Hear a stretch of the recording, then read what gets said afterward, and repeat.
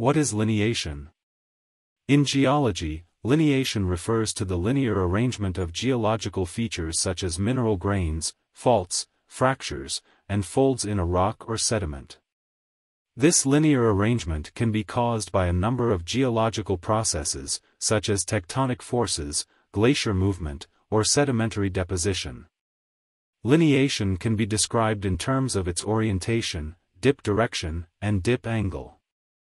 The orientation of a lineation refers to its direction in relation to north, south, east, and west. Dip direction refers to the direction in which the lineation dips, while the dip angle refers to the angle between the lineation and the horizontal plane. One common type of lineation in geology is a slickenside, which is a polished and striated surface on a fault plane that indicates the direction of movement along the fault. Another type of lineation is a lineation of elongate minerals, which refers to the alignment of mineral grains in a rock or sediment that have been deformed by tectonic forces. Lineation can be used to determine the direction and magnitude of tectonic forces that have acted on a rock or sediment. For example, if a lineation is oriented in a particular direction, it can suggest the direction of movement of a glacier or the direction of a fault plane. In addition, lineation can be used to reconstruct the geological history of an area by examining the orientation of lineations in different rock units.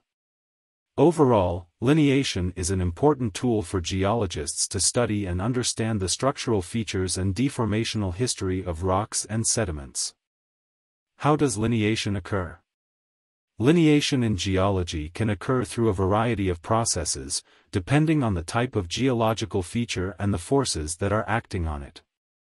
Here are some examples of how lineation can form. Tectonic forces. One of the most common causes of lineation in geology is tectonic forces, which can cause rocks to deform and align in a particular direction.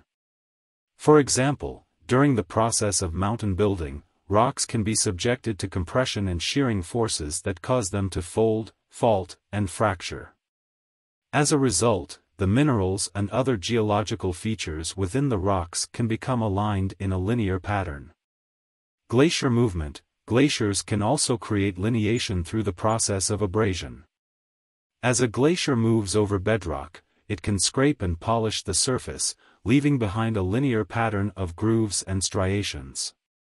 These grooves and striations can provide clues about the direction and speed of the glacier's movement.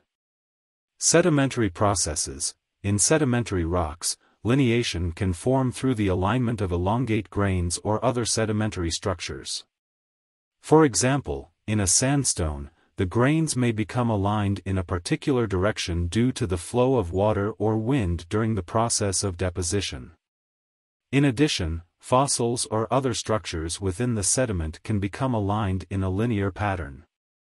Igneous processes, in some cases, lineation can form in igneous rocks due to the alignment of mineral crystals during the process of cooling and solidification. For example, in a basalt flow, the mineral crystals may become aligned in a linear pattern due to the flow of lava during the eruption. Overall, lineation in geology is a result of the complex interactions between geological features, forces, and processes. By studying lineation, geologists can gain insight into the history and evolution of the Earth's crust, as well as the forces that shape the planet's surface. Please don't forget to subscribe to my channel and turn on notifications.